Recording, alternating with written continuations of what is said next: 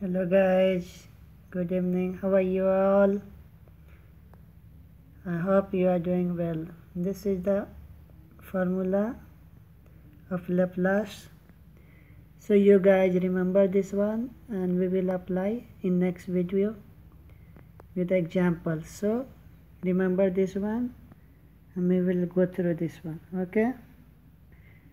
Please subscribe press the icon button and we hope you enjoy this one